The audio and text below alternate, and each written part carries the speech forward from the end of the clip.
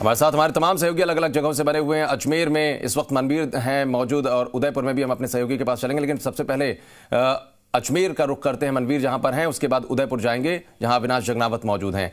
मनवीर क्या कुछ अभी जानकारी मिल पा रही है? देखिए, कोरोना को लेकर इतनी सारी गाइडलाइंस हैं। रघु शर्मा भी पॉजिटिव हो गए हैं। सरकार गंभीर है, लोगों को लगातार चिताया जा रहा है। हर एक तैयारियों के साथ में चुनाव हो रहे हैं। जहाँ मौजूद है इस बूथ पर, वहाँ पे क्या स्थिति देख पा रहे हैं मनवीर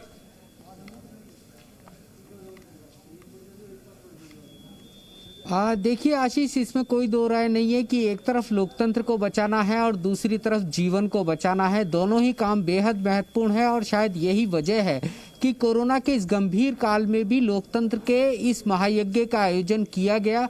लेकिन तमाम तरह की जो सतर्कताएँ हैं, केवल वही हथियार हैं, उस हथियार के माध्यम से ही लोकतंत्र की इस लड़ाई को भी जीता जा सकता है। कोरोना से जो लड़ाई चल रही है, उसमें कोरोना को भी हराया जा सकता है। और जैसा कि देख सकते हैं, ये नज़ारे अजमेर के हैं, जहाँ पर कि आज की अगर हम बात करते हैं तो अजमेर के अंदर सावर, सरवाड़ भिनाय और केकड़ी, ये चार जो बड़ी पंचायत समितियाँ हैं, उसमें पंचायत समिति सदस्य और उसके साथ साथ जिला परिषद सदस्यों के जो मतदान है, वो आयोजित किए जा रहे हैं। चार चरणों में कुल ये मतदान होने हैं, जिसमें से पहला चरण आज हमको यहाँ पर इन चार स्थानों के ऊपर देखने को मिल रहा है।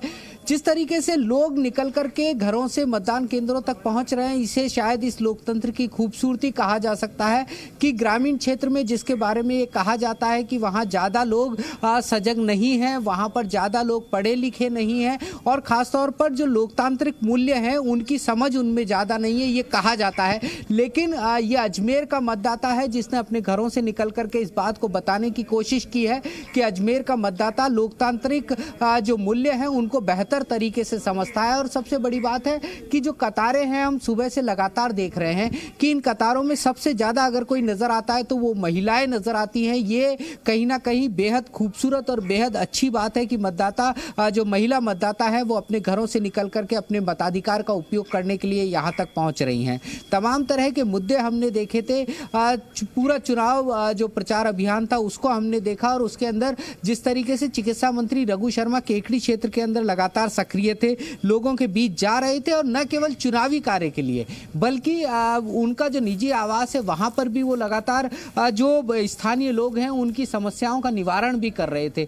इस पूरी जो प्रक्रिया थी, इसके दौरान वो ज़रूर कोरोना की चपेट में आए हैं, लेकिन स्थानीय प्रशासन ने ये तय करने की कोशिश की है कि कोई मतदाता कम से कम कोरोना की चपेट में न आए। आप देख सकते हैं कि सोशल डिस्टेंसिंग का यहाँ पर पालन पूरी तरीके से किया जा रहा है।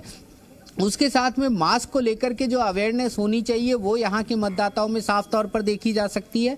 कुल मिलाकर के हम ये कह सकते हैं कि तमाम चुनौतियों के बीच ये चुनाव होने जा रहा है लेकिन प्रशासन की पूरी तैयारी और मतदाताओं की जागरूकता उन चुनौतियों का सामना करने के लिए तैयार है और शायद यही वजह है कि ये जो खूबसूरत तस्वीरें हैं हमको अजमेर से देखने को मिल रही हैं। साढ़े सात बजे से लेकर अब सिलसिला चूँकि दस बजे तक आ गया है क्या जानकारी इस बात की मिल पाई? कितना अभी तक मतदान का असर रहा है, रफ्तार क्या रही है?